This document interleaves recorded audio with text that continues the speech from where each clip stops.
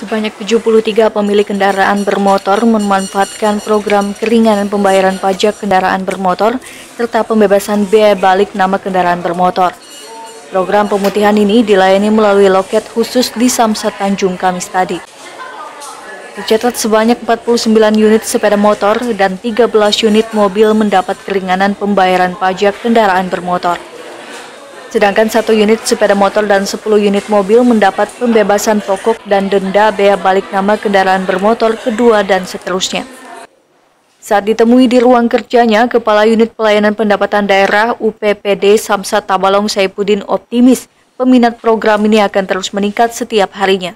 Kami berharap kepada masyarakat agar memanfaatkan kesempatan ini dengan sebaik-baiknya. Jadi ini kesempatan jarang ada.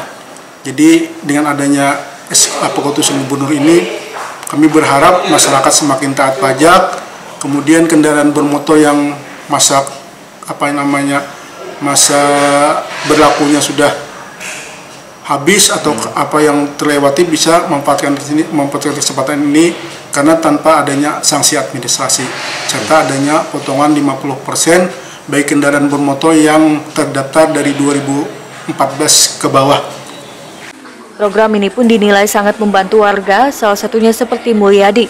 Menurutnya, kebijakan ini meringankan beban sanksi administrasi sepeda motornya yang sebelumnya sempat menunggak akibat terlambat membayar pajak. Pak Pian tadi dapat uh, karena program yang pemutihan tuh Pak lah? Hmm, kena kena program pemutihan. Kenapa Pak jadi bisa sempat kedingat membayar pajak Pak? Iya, kelupaan ini Pak. Soalnya ini kan kemarin anaknya sekolah di Malang kuliahnya, jadi kan lupa dia lupa bayarnya gitu.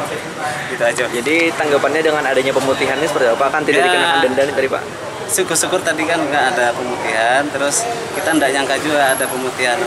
Alhamdulillah ya kena anu pas kena pas berhubung mati karena pemutihan alhamdulillah ada diringankan lah. Jadi Program pemutihan pajak ini hanya berlaku di loket khusus di kantor Samsat saja dan tidak berlaku di layanan Samsat keliling dan layanan di luar kantor Samsat lainnya. Muhammad Rais TV Tabalong melaporkan.